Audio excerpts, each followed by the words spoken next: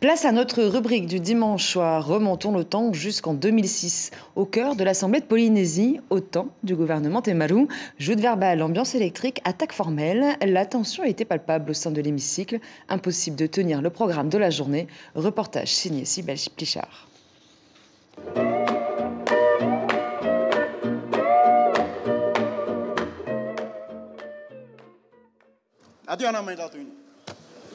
Bien, je vais suspendre la séance, j'en suis vraiment désolé, et on la reprendra dans 5 ou 10 minutes. Il n'aura fallu qu'une demi-heure pour qu'à nouveau la séance soit suspendue. Le collectif budgétaire numéro 3 aura décidément du mal à être au centre du débat. La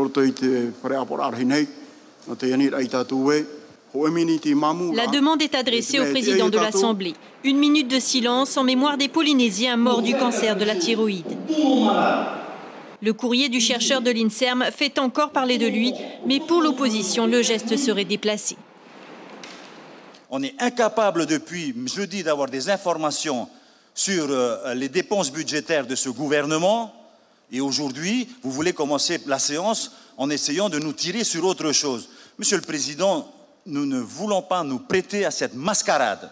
Vous n'avez pas besoin d'élever votre voix, on connaît votre position par rapport à tout ça.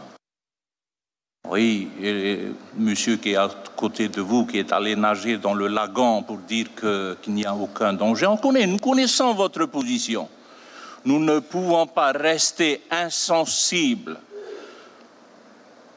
face à tout ça, les problèmes de santé de notre pays. Finalement, le président de l'Assemblée propose de poursuivre la séance et d'organiser un véritable débat plus tard dans un cadre plus réglementaire. Faire une minute de silence de cette manière-là, ce n'est pas une bonne chose, à mon sens. Si on fait une minute de silence, ça doit être unanimement. Si les messieurs de l'opposition ne veulent pas rester, libre à eux de sortir de l'hémicycle. Mais nous, nous allons, et je vais demander à, à la majorité ici, et également avec le gouvernement, de se lever pendant une minute. Reconnaissance de l'État et indemnité aux victimes, les centristes l'envisagent, mais préfèrent eux aussi attendre le rapport complet de l'INSERM. Je crois qu'on peut reconnaître à la majorité le fait qu'ils aient réouvert un débat qui avait été complètement occulté, sur lequel il y avait une espèce de chape de plomb.